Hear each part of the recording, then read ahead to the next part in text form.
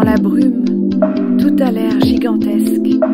Je vois des animaux et des montagnes liquides, derrière lesquelles les dinosaures réapparaissent.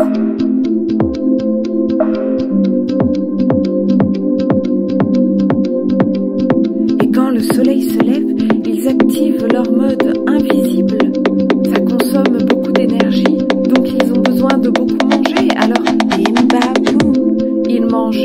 tous les arbres qu'il y a, et puis toutes les herbes qu'il y a, et puis tous les gens qu'il y a.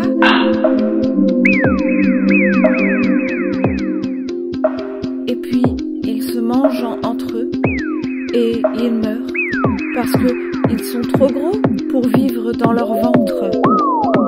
Heureusement, les arbres et les herbes ont de bonnes racines et à la pluie suivante, ils repoussent.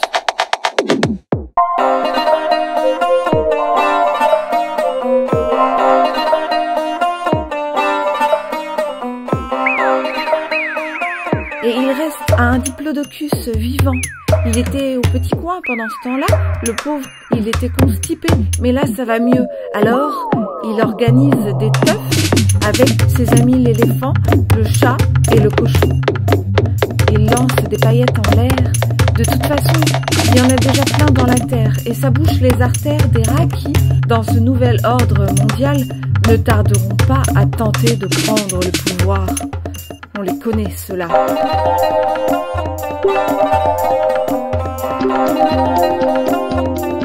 Et dans la brume, derrière les montagnes liquides, il voit des aliens. Et tout a l'air gigantesque.